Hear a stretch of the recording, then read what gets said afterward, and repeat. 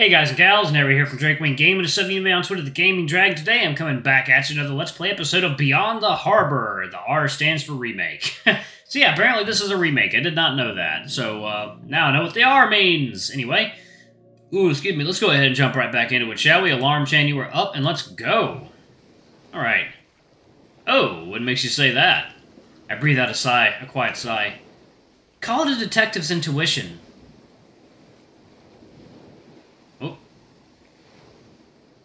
I watch quietly as the sky darkens, fading from vibrant oranges to soft pinks, followed shortly after by deep blue.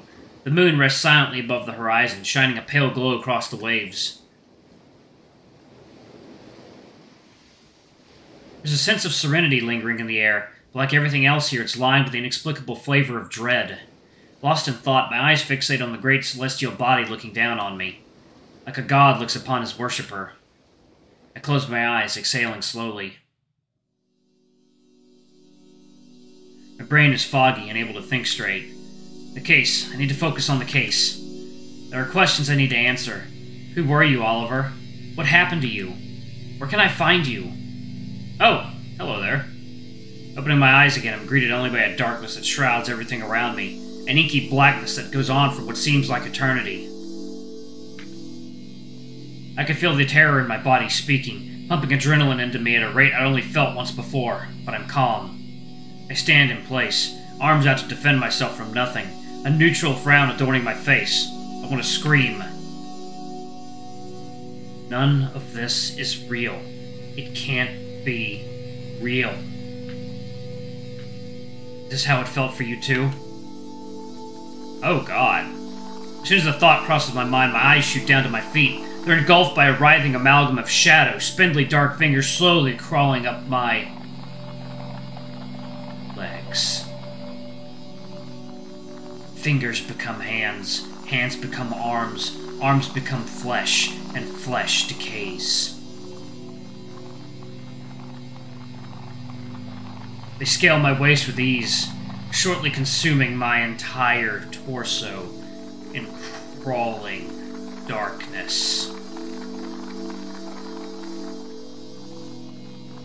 Look, y'all are doing fancy things with fonts now. I can't take this. This is too scary now. Is too spooky. Ooh. I am forced to watch as my body vanishes into nothing, swallowed by the hungry void beyond my understanding. Everything goes.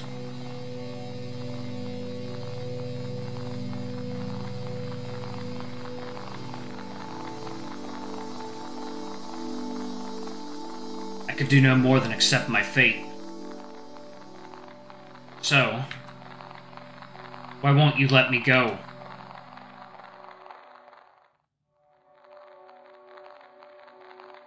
Oliver? Oliver Blanche, are you here? No.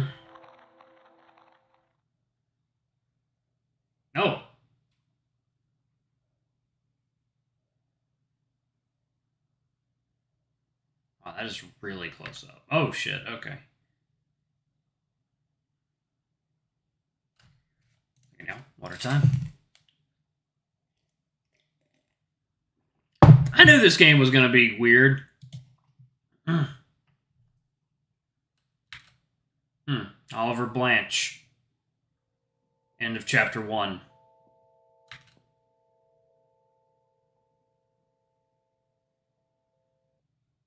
What? Chapter select.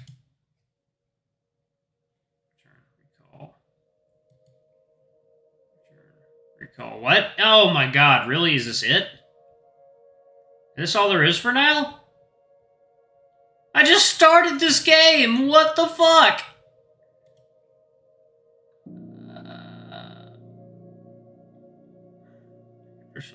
Uh, Wait, okay, so I can't start a new game. I can do chapter select, though. Oh. Okay, there are more. Maybe? Oliver? Oliver Blanche, are you here? The voice rings out across the waves again, but I don't stop my pace. One step, two. Everything that led to this, everything you've come to regret. Can you see it now? His face, permanently burned into my psyche, speaks to me. You disgust me.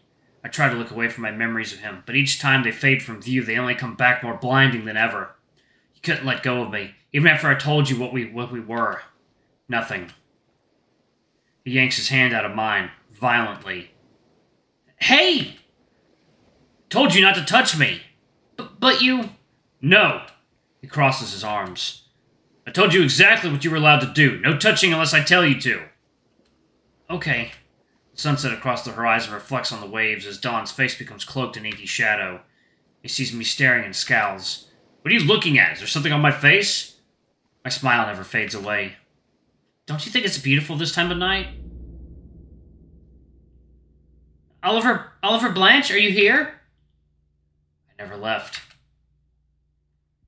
Hey, you didn't pick up your phone, so I let myself in. Are you still asleep in there? I feel like I am. Nothing feels real anymore. But there's a knock on my bedroom door, followed by an all too familiar voice. I hope you're decent, because I'm opening your door. You know?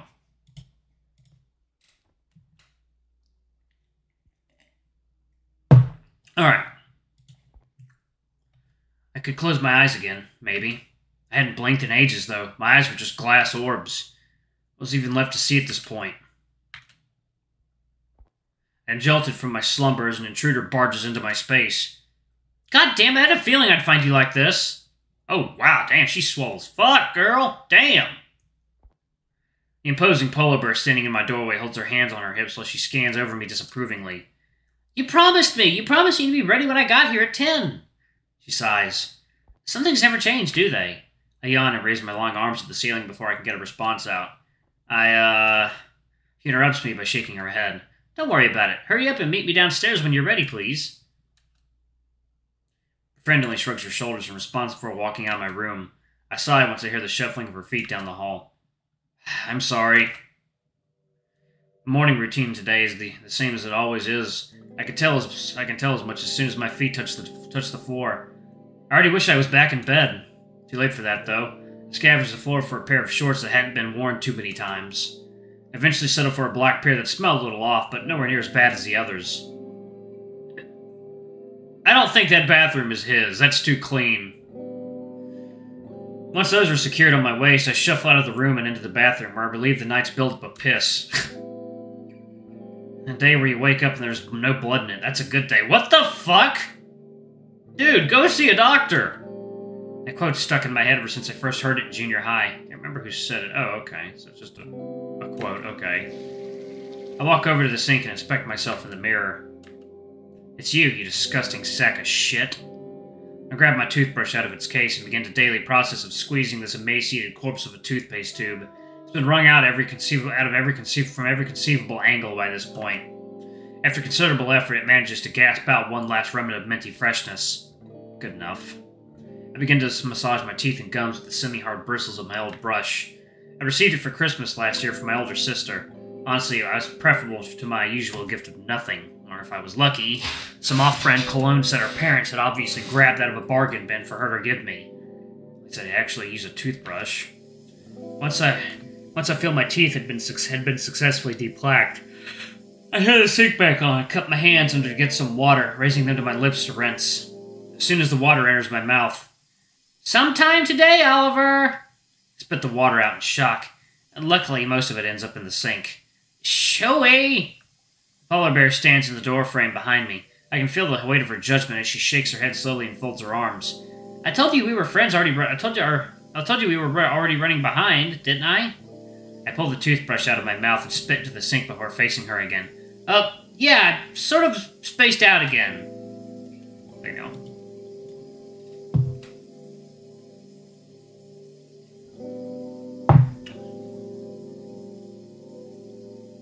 I smile awkwardly, foam from the toothpaste coating my lips and just generally making me look look like a fool.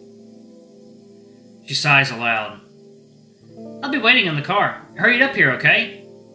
I nod my head, turning my full attention back to the sink. The water runs steadily from the faucet down to the drain in a clear, continuous stream. Water. No, I said I wouldn't get distracted again. I run my toothbrush under the water shortly before turning the faucet off.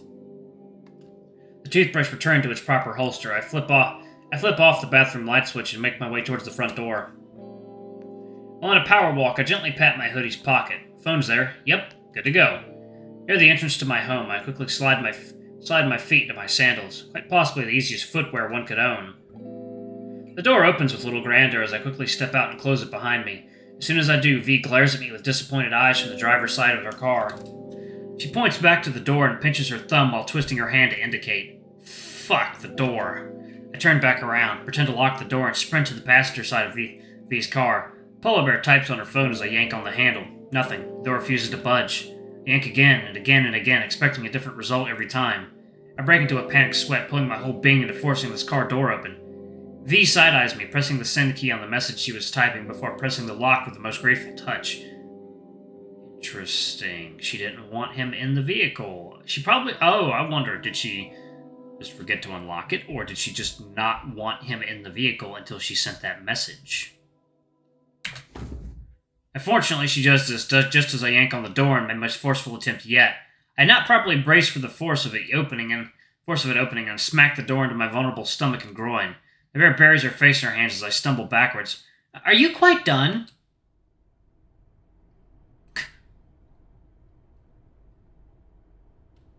hmm. The short drive out of the Bay Area is mostly uneventful. We partake in a bit of an of idle chatter, but the sound of tires gently rolling over asphalt us most of the trip. Once we enter the city proper, however, my memories of the city spark to life and shine a beacon on the quiet streets. Arborton was hardly a major city, separated from the rest of Virginia on the Delmarva. I don't have a lot of memories from when I was a kid, but from what I can piece together of my time around Baton Rouge, Arborton is different. Perfect place to hide a body, my sister said when we first arrived. Dozing off again? I shake my head. No, just thinking about the city. Arborton? She scoffs. Hardly a city. Haven't you ever been to D.C.? I shrug my shoulders, rolling my head back a bit. Second, now It is indeed water time. Hmm. I lied, it's coffee time. Coffee time is over because there's no more coffee left. I don't think I've been out of the city since you took me on that ski trip in 08. The bear briefly looks at me before turning her attention back to the road. Didn't your sister get married last year? Yeah, didn't go. She squints. Hmm. And you said your parents were out this weekend because. They were taking a trip to the Bahamas with my sister and her husband. Her brow raises briefly before settling back down to a more natural position. But you're here. I shake my head, folding my hands comfortably into my sweater's pocket. I wasn't interested. Hmm. She reaches toward the center console to adjust the AC, turning it up. She smiles as the air ruffles her fur even more intensely. I just retreat further into my sweater. The passenger side vent blows directly onto me, quickly lowering my body temperature to much lower level than I'd like. Cold, cold, I tucked my hands into my pockets, doing my best to contain my contain what little body heat I had remaining. The last thing I'd want to do was embarrass myself. Don, on the other hand, walks well ahead of me. He stops to glance back every so often, and every time our eyes meet, I turn away. The heat my face was emanating could fry an egg. If only that was enough to stop the shivering. The cold September breeze races across the waves, rolling onto the beach and lifting a bit of the sand. Nighttime was just around the corner, and the hateful gaze of the orange and yellow light just above the harbor provided next to no heat. Are you coming? Alright, I'm going to pause it right there. Thank you all so much for watching. Don't forget to like, comment, subscribe, ring that notification bell, and check out our Patreon if you can. It always helps. Before I go, I'm going to give a quick shout out to our lovely bronze tier patrons. Thank you all for all you do for the channel. We greatly appreciate your support. Thank you to our silver tier patron, Cade Silvermoon. Thank you for going a bit above and beyond. It's greatly appreciated. And thank you to our gold tier patron, Armor. You're awesome. We love you. Thank you for subbing to our ultimate tier anyway. If y'all want to get your names in the credits, get access to our not safe for work contents as little as $5. Alrighty, I love you all, and I'll see y'all in the next video. Bye-bye!